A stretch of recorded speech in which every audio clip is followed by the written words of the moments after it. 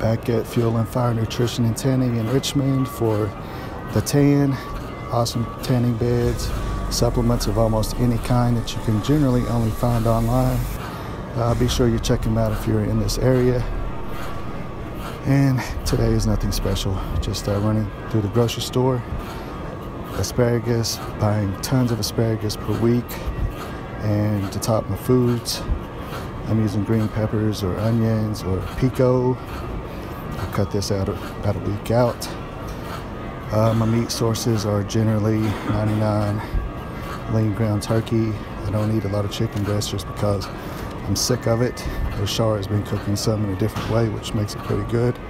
High carb day, higher fat day, 92% lean ground beef.